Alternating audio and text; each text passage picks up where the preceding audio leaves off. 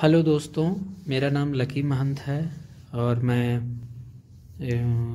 और इस वीडियो को लाइक करिए शेयर करिए कमेंट करिए।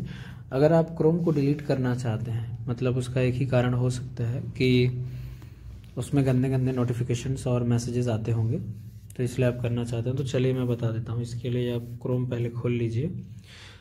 ये अगर काम करता है तो ठीक है, नहीं भी कर रहा होगा तो आपकी जो प्रॉब्लम है उसको मैं सॉल्व कर दूँगा। इस तरीके से। तो जो क्रोम है, जो क्रोम है, उसको लॉन्ग प्रेस करेंगे तो एक एप इन्फो आता है। एप इन्फो के बाद जब आप नीचे जाएँगे तो यहाँ पे ये जो बीच में डिसेबल का ऑप्शन दे रहा है, जब उसको डिसेबल कर देते हैं तो वो गायब हो जाएगा, यहाँ से हट जाएगा। लेकिन अगर डिसेबल का ऑप्शन नहीं देता है आपके मोबाइल में तो और तरीका मैं बता रहा हूँ, आप कैसे करेंगे। सीधा जाएँगे, इस तरीके से क्रोम ओपन करेंगे।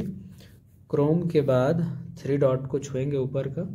और सबसे नीचे में जो लिखा हुआ है इधर सेफ्टी चेक के बाद जो नोटिफिकेशन लिखा हुआ है, उसमें ये जो है सो नोटिफिकेशन वो आपके ऑन है, उसको जाके ऑफ़ कर लीजिए। फिर आप जो प्रॉब्लम फेस कर रहे हैं नोटिफिकेशन का, वो ऑफ़ हो जाएगा।